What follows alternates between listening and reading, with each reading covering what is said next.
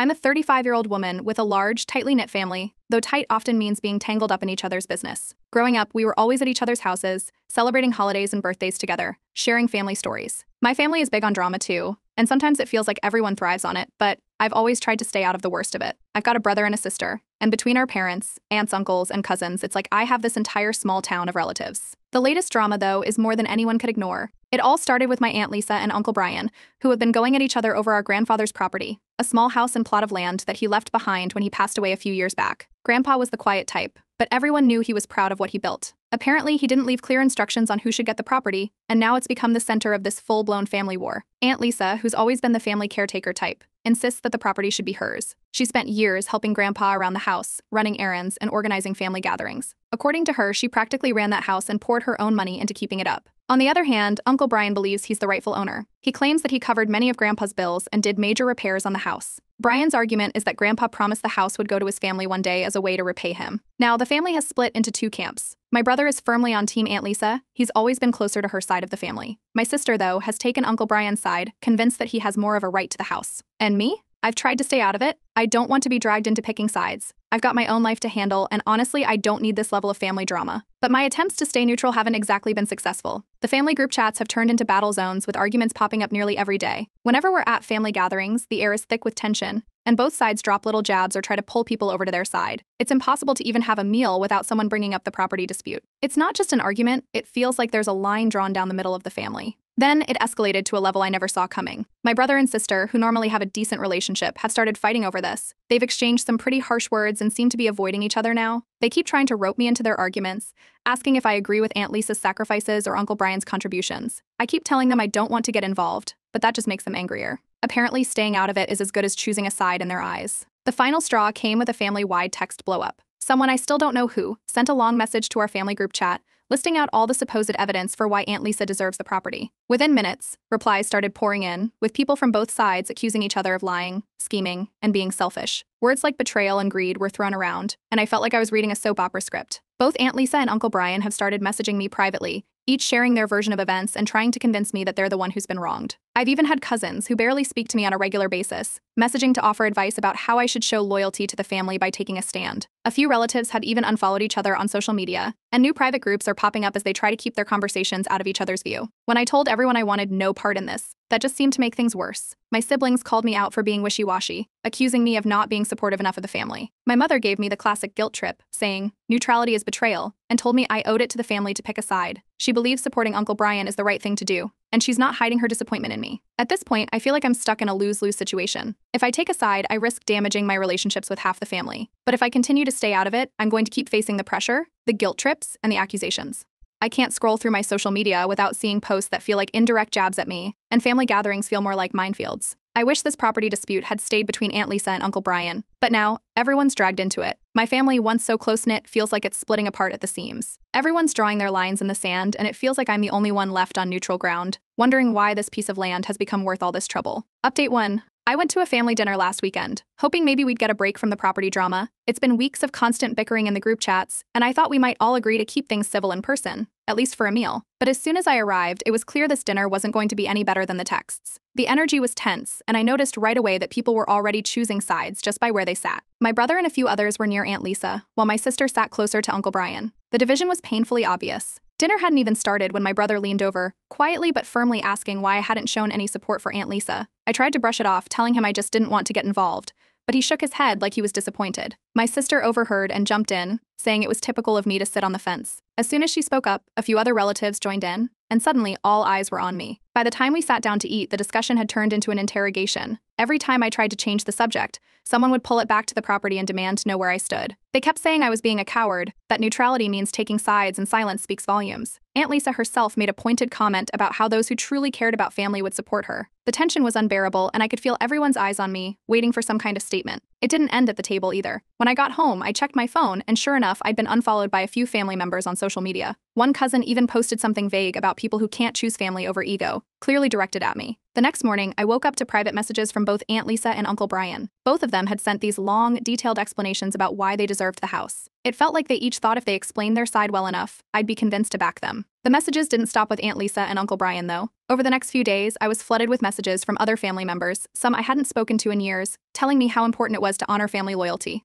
Everyone seemed to have advice on what I should do, and a lot of it wasn't so subtle. A few even called me selfish and spineless for staying out of it, with comments about how my neutrality hurt the family. Just when I thought it couldn't get worse, my mom called me, sounding emotional and upset. She told me I owed it to the family to support Uncle Brian, her sibling. She reminded me of all the times family had supported each other in the past, trying to guilt me into choosing a side. I told her, again, that I didn't want to get involved. She didn't take it well, making it clear she felt like I was betraying the family. By this point, I was exhausted. It felt like there was no way out of this without someone being disappointed or angry. I started avoiding family gatherings and ignoring calls. I just didn't have the energy to keep arguing or defending my choice to stay neutral. But the pressure didn't let up. Uncle Brian even called one evening and told me that if I didn't support him, he'd cut me out. The real kicker came when Aunt Lisa decided to go public with it. She posted in a family Facebook group, calling me disloyal and uncaring. She didn't mention my name directly, but everyone knew who she meant. Friends started reaching out, wondering what was going on. One of them advised me to just set boundaries with my family, to make it clear I wouldn't be taking sides. But at that point, I worried that drawing a line would only make things worse. That's when my phone buzzed again, this time with a flood of angry texts from my sister. She accused me of choosing the easy way out and told me that my silence made her feel like I didn't care about the family. She went on and on, paragraph after paragraph, blaming me for making things harder by staying neutral. It was overwhelming, and every message just added to the weight of it all. Eventually, I couldn't take it anymore. I started feeling like maybe I should have picked a side just to avoid all this drama, even if it meant aligning myself with one part of the family over the other. The whole situation was eating me up inside, and I felt trapped. With everyone pushing their version of loyalty,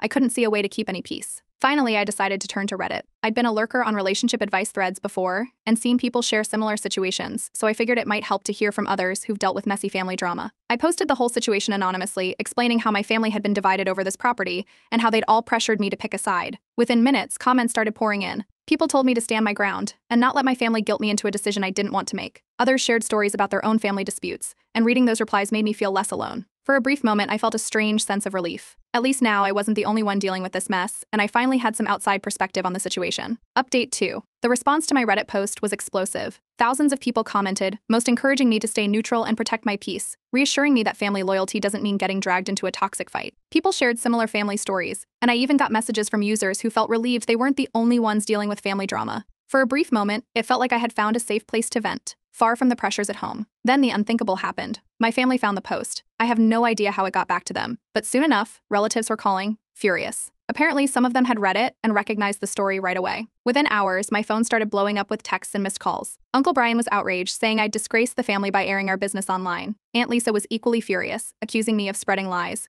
They were both convinced I'd turned the whole internet against them. Suddenly, what had started as my way to seek support became yet another reason for them to be angry at me. The backlash didn't stop there. I was flooded with messages from cousins, aunts, and even distant relatives, all condemning the post. My mom, who had been pestering me to pick a side, stopped speaking to me altogether. She sent me one text saying she felt betrayed and calling the post a slap in the face. Then she went silent. Every day, I checked my phone, hoping she'd reach out again, but nothing. It didn't take long for me to start noticing changes in our family group chats, too. First, I was quietly removed from a few of them. The chat with all my cousins, gone. Another one that was just for immediate family, I got booted from that one too. While a part of me was relieved not to see the endless arguments, being cut off like that felt strange. After all, I hadn't actually taken a side, but suddenly everyone seemed to see me as the enemy. I realized my neutral stance had unintentionally turned me into a target. It was almost like both sides saw me as a traitor, each one accusing me of secretly supporting the other. Aunt Lisa and her supporters spread rumors that I was on Uncle Brian's side, claiming I'd always secretly supported him. Uncle Brian's family was convinced I was sympathetic to Aunt Lisa, arguing I clearly sided with her by not publicly backing him. No matter what I did, someone found a reason to be upset. The pressure kept building.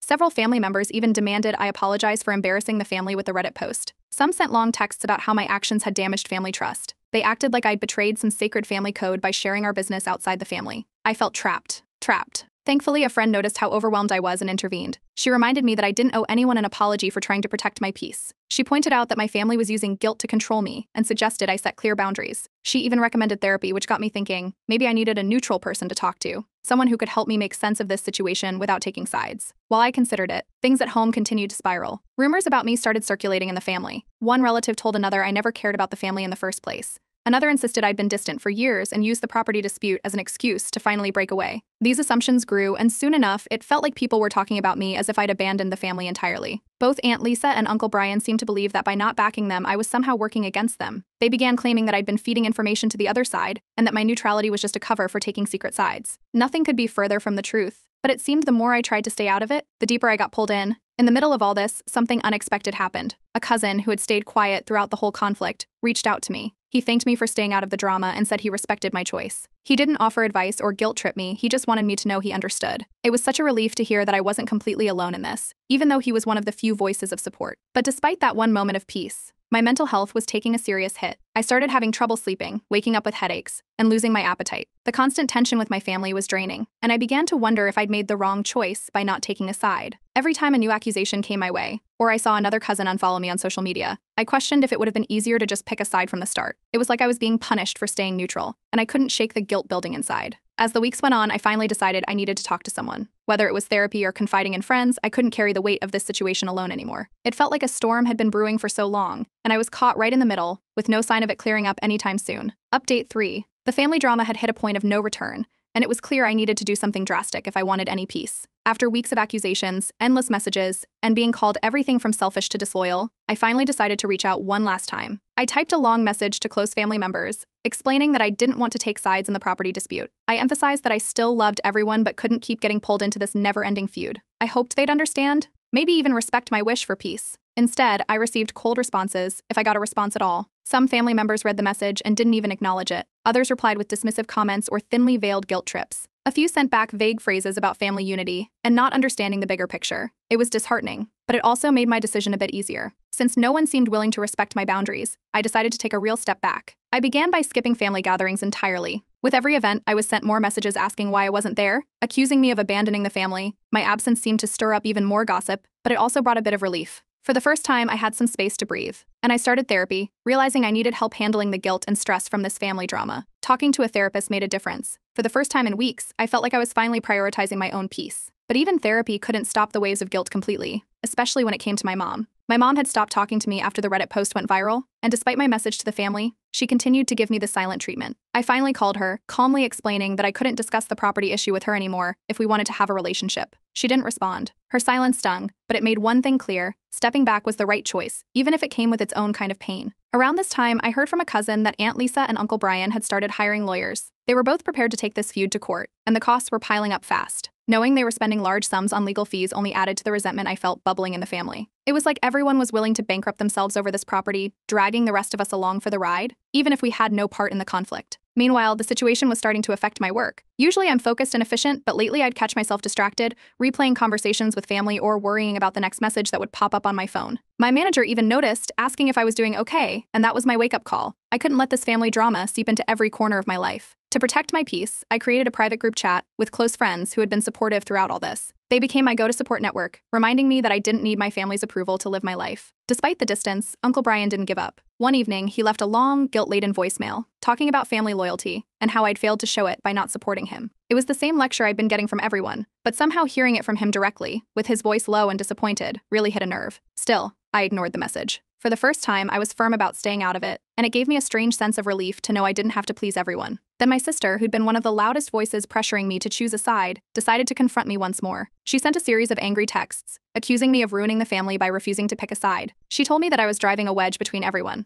Her words hurt, and it felt like a breaking point. After all this time, I'd been trying to stay neutral, to keep the peace, but somehow I was still the villain in her eyes. To add to the frustration, distant relatives, some of whom I hadn't seen in years, started reaching out to express their disappointment. They hadn't been part of my life before, but suddenly they wanted to weigh in on how I'd let the family down. Each message felt like another reminder of how deeply this conflict had infiltrated every part of my life. But despite the nonstop backlash, something unexpected happened. I began to feel a small sense of peace. I realized I'd done everything I could to stay true to myself. I hadn't taken sides and I hadn't caved to guilt or pressure. It wasn't easy, but knowing I'd held my ground felt like a small victory. I wasn't abandoning my family, I was simply choosing to protect myself. In that moment, I decided to fully commit to moving on. Therapy helped me see that I couldn't control my family's choices, but I could choose how much of it I let into my life. Slowly, I started focusing on my own growth, distancing myself from the family drama without cutting anyone out completely. It was time to put my energy into the relationships that actually brought me happiness and peace. Update 4. Therapy had been my lifeline through this family chaos, and I could finally feel a shift. My therapist helped me see how I'd been pulled into a cycle of guilt and pressure,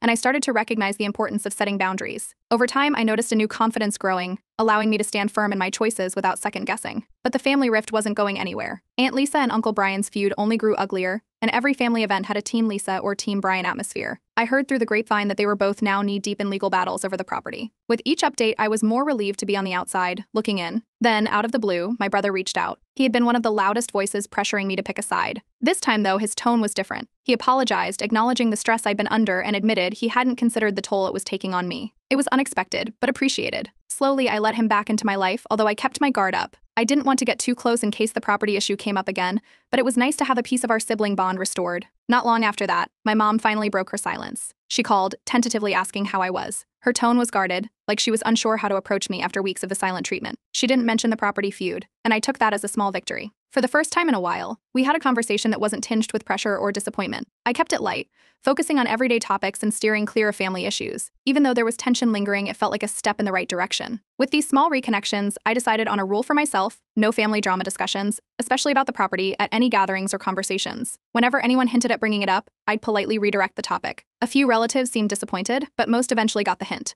By keeping things neutral, I could maintain a bit of peace without getting dragged back into the feud. Through all of this, my friends had been the real support system I leaned on. They became my family in a way, and I found myself depending on them more than ever. They'd invite me out, celebrate small wins with me, and help distract me from the ongoing drama. Slowly, my work life improved too. With less emotional baggage weighing me down, I could finally focus on my tasks and my productivity picked up. It was like my mind had been given a break, and I could breathe easier. As the months passed, I noticed that my choice to stay out of the feud was becoming more respected by others in the family. A few cousins reached out, sharing that they were getting exhausted by the drama themselves. They admitted they envied my decision to stay neutral and respected the way I'd kept my distance. It was strange, but comforting, to realize that some family members were finally seeing my stance as reasonable. One cousin, who had supported me early on, reached out again. We started talking more, sharing stories about the family's dysfunction, and bonded over our shared frustrations. It was a relief to connect with someone who didn't judge me for my choice and understood what it was like to be caught in the middle. Our chats became a regular part of my life, giving me someone to confide in when the family drama felt too close for comfort. Reflecting on everything, I felt a new sense of self respect. I hadn't given in to the pressure or let guilt control my decisions. It hadn't been easy, but standing my ground helped me see that I didn't need everyone's approval. I accepted that some family members might always see me as the villain in this story, and I was surprisingly okay with that. They could see me however they wanted, but I was done letting it affect my peace. Over time, a few more relationships in the family began to mend. I reconnected with relatives who weren't as entangled in the feud and had kept their distance, like I had. We could chat and catch up without diving into family issues, and that was enough for me. I kept a firm distance from the conflict, setting clear boundaries, and it felt like I was finally opening a new chapter. As a final closure, I decided to update my Reddit post. I wanted to thank everyone who had offered advice and helped me see the value of boundaries. In my last update, I shared how standing up for myself had led to more peace and stronger connections with people who truly respected me. I expressed my gratitude and the lessons I'd learned about prioritizing mental health, even when family expectations weigh heavily. With that last post, I closed the door on that chapter. It was time to focus on my happiness and health, leaving the family feud behind me. The property battle might still rage on, but I'd made my choice to step back, protect my peace, and not look back. Update 5. In a recent therapy session, my therapist encouraged me to consider forgiveness, not to forget or excuse the hurtful things that had happened, but to release the lingering resentment that kept me tied to the family feud. I'd been carrying so much tension, and letting go, even slightly, felt like loosening a knot that had been holding me back. Soon after that session, I had a chance to talk to my mom. We hadn't had an honest conversation since the property dispute began. This time, I shared how hurt I'd been by her ultimatum and the silent treatment that followed. It took her a moment, but she finally admitted she hadn't thought about how her demands would affect me. Her apology was hesitant but genuine, and though it didn't erase everything, it helped us move forward. For the first time in a long time, I felt like we were beginning to understand each other. Around this time, my cousin, who had quietly supported me from the sidelines, reached out with an invitation. He was hosting a small family gathering and had specifically chosen not to invite either Aunt Lisa or Uncle Brian.